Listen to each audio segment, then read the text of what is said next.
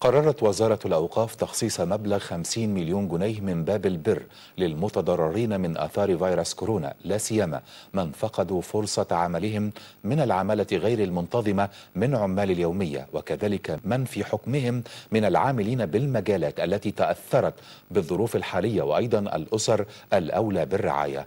وفي ذات السياق حرصت الأوقاف على توجيه ما كان مخصصا ماليا لبعثات حج الوزارة هذا العام لمساعدة المتضررين من آثار فيروس كورونا.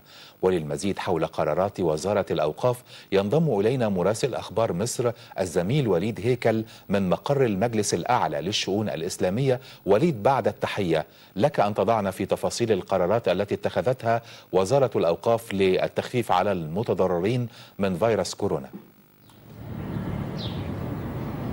آه نعم عصام بعد التحية. بالفعل كما ذكر الخبر الآن أن وزارة الأوقاف خصصت مبلغ 50 مليون جنيه آه لمساعدة آه المتضررين من آثار فيروس كورونا. كذلك الوزارة آه قامت بإلغاء كل بعثات الحج التي كانت على نفقتها هذا العام وتوجيه مبالغ آه الحج أو بعثات الحج بالفعل للمتضررين من فيروس كورونا أيضا. وللمزيد حول هذه القرارات وصداها وكذلك المشاركة المجتمعية من وزارة الأوقاف. يسعدنا أن ينضم معنا الآن معالي وزير الأوقاف الدكتور محمد مختار جمعة للإسهام في أكثر في حول هذه القرارات. معالي وزير الأوقاف بعد إغلاق وزارة الأوقاف منذ يومين أو ثلاثة أيام المساجد على مستوى الجمهورية حفاظا على النفس البشرية وعلى المصلين من انتشار فيروس كورونا. اليوم تأتي الأوقاف بجديد وهو الإسهام المجتمعي من خلال توفير 50 مليون جنيه للمتضررين من فيروس كورونا. المساهمة المجتمعية من قبل وزارة الأوقاف وكيف يكون ذلك؟ أن يحذو أن تحذو كل الجهات وكل المؤسسات الحكومية حذو وزارة الأوقاف. الحقيقة أكدنا أن مواجهة المحن والأزمات تقوم على أساسين. الأساس الأول الأخذ بالأسباب وقديما قالوا الوقاية خير من العلاج والآن نقول الوقاية هي العلاج نفسه. الوقاية هي العلاج نفسه لأن غير الآن بيقولوا لم يظهر إلى الآن علاج للمرض فأصبح العلاج الأساسي والوقايه وهو الأخذ بالأسباب ومن هنا كان قضية غلق المساجد وأمس أنهينا خدمة إمامين وكمعلومة للتو الآن أنهينا خدمة إمام ثالث بمحافظة المنيا خالف التعليمات ونحن جادون في إنهاء خدمة أي إمام أو عامل أو مسؤول عن مسجد يخالف هذه التعليمات لأن القضية لا تحتمل أدنى ادنى طراخ أما عن السؤالين ديننا دين التراحم والتكافل وده التطبيق العملي. التطبيق العملي يظهر وقت الشدائد والأزمات. إذا كان التكافل مطلوبا على كل حال فالتكافل والتراحم ودي دعوة ونداء بنأديه لكل المؤسسات الوطنية لكل الجمعيات الأهلية لكل مؤسسات المجتمع المدني لكل رجال الأعمال. كل واحد منا ده وقت أن يأخذ القوي بيد الضعيف والغني بيد الفقير. أعطت الأوقاف عدة نماذج منها تخصيص 50 مليون جنيه من مواردنا الذاتية من باب البر تحت تصرف مجلس الوزراء يوجهها إلى الجهة التي ستقوم بالتخفيف المعاناة عن العمالة غير المنتظمة أو العمالة اليومية اللي تأثرت نتيجة نتيجة الانتشار العالمي لفيروس كورونا أو الأحداث الجوية الأخيرة. هذه ستكون مساهمة من وزارة الأوقاف في تخفيف آثار الأسر التي تضررت من فقد فرص العمل. أيضا خصصنا ستة ملايين جنيه.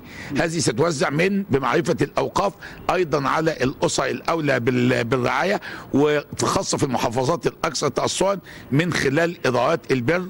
بعض المحافظات ستنال حوالي 500 أسرة 700 أسرة. هذا سيتم من 6 مليون. إذا خصصنا 56 مليون جنيه. 50 مليون توزع بمعرفة الجهات المؤسسية في الدولة و6 ملايين بمعرفة الوزارة قضية بعثة الحج دي رسالة للدنيا كلها. رسالة ال ال الإنسان حفظ قوام الحياة مقدم على كل شيء. الناس اللي بتحج نوعين حج نافلة أو أداء عمرة نقول له هؤلاء أمانة أمانة رعاية هؤلاء اللي هم تأثروا بهذه الأحداث أولى ألف مرة ومرة من حج النافلة وعمرة النافلة. إنما حج الفريضة دي متروك آه، لإذن الله تعالى وما سيكون. لكن إحنا قلنا حتى إن تم الحج هذا العام وفتح باب الحج فوزارة الأوقاف كإشارة للمجتمع بأن قضاء حوائج الناس في هذه الظروف مقدمة على حج الناس على نفقة أي مؤسسة من المؤسسات قلنا إن وزارة الأوقاف الاوقاف الغت ما كانت تخصصه من باب البر لبعثات الحج ولن يحج أحد على الإطلاق هذا العام. على الإطلاق تحت أي مسمى لا نافلة ولا فريضه على حساب وزارة الأوقاف لأن الحج من رحمة الله أنه فرض على المستطيع بدنيا بدنيا والمستطيع ماليا. فاولا الكل قضاء حوائج الناس مقدم على حج النافلة وعمرة النافلة. وفي هذه الظروف أيضا أكدنا إن لا بعثة الاوقاف هذا العام. وكل المبالغ ستخصص للاسر الأولى بالرعاية المتأثرة من هذه الأحداث. وده نموذج لترتيب الأولويات وفقه الأولويات والتصرف وقت الشدائد. ولن نستعجل الأحداث الأمر عند الله. لكن حتى لما سئلنا لأن السؤال سيطرح ماذا عن الحج؟ ماذا عن العمره قلنا إذا كانت المساجد في الفرائض قد أغلقت فنسأل الله بإذن الله أن يرفع البلاء عن الدنيا جميعا وعن البشرية جميعا. لكن لا قدر الله لو استمر انتشار الفيروس فصحة الإنسان مقدمة على كل الأمور بما فيها الحج والعمرة ولكل حادثة حديث وسيكون كل حديث في أوانه لأهل العلم والاختصاص. وطبعا لا شك أن المملكة العربية ستتخذ القرار المناسب في الوقت المناسب بما يحقق هذه المصلحة إن شاء الله. كل الشكر ليك سيادة وزير الأوقاف. إذا زميلي كانت هذه هي رسالة من وزارة الأوقاف رسالة مجتمعية بالفعل لكي تحذو كل الجهات وكل المؤسسات حذو وزارة الأوقاف وتخصيص مبالغ للمتضررين من فيروس كورونا إليكم في نعم. أشكر زميلي وليد هيكل مراسل أخبار مصر والشكر موصول لضيفه الكريم معالي وزير الأوقاف دكتور محمد مختار جمعة